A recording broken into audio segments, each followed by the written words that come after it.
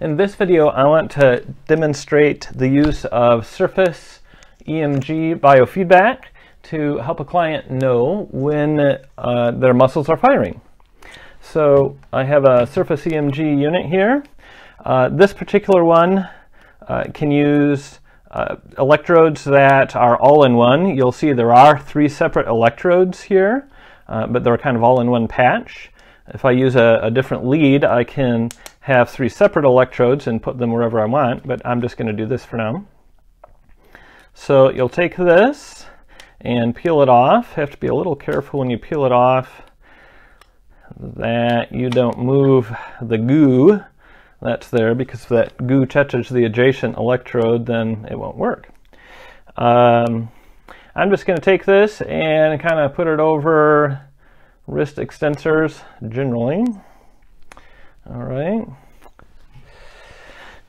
And then here on the unit, um, I'll just show you how this works. To turn it on, you just turn, rotate the uh, dial, and it turns on, goes through a couple little tests here. And then it shows we're doing continuous. Um, there was nothing set for channel B.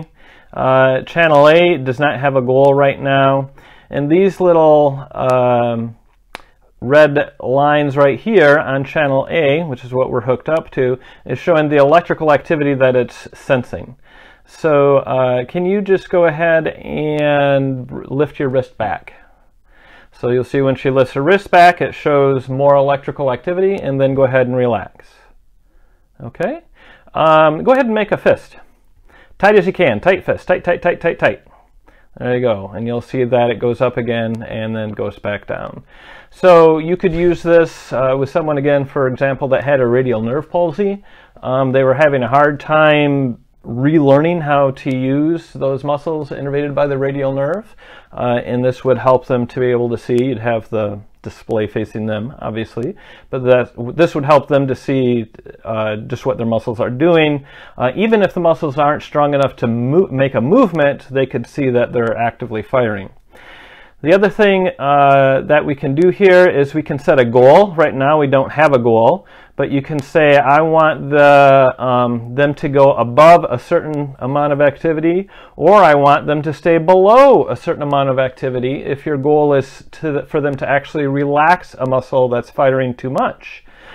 Finally, um, you can set a goal for a ratio of whatever is plugged into channel A to whatever is plugged into channel B.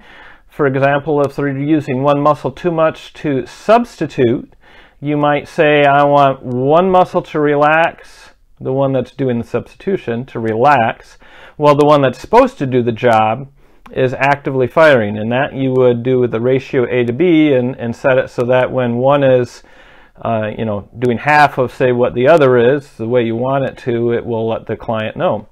I'm just going to do a quick goal above here.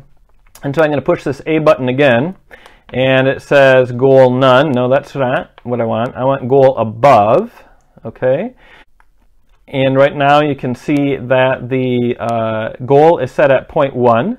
So anytime she goes above 0.1, a little light up here that says success will go on, and also there's um, a little chime that sounds. It's not very loud. Uh, again, can you just uh, bring your wrist back? Okay, so when she brings her wrist back, you see the little success light goes on. That means she's met her goal. When it drops down below the goal, the success light goes off. And you can change that goal to, you know, as high or low as you want. Uh, if I say, well, we should be able to hit this every time now, okay, bring your wrist back again, and you'll see when it crosses that line, our little green light goes on. When it drops below that line, the little green light goes off.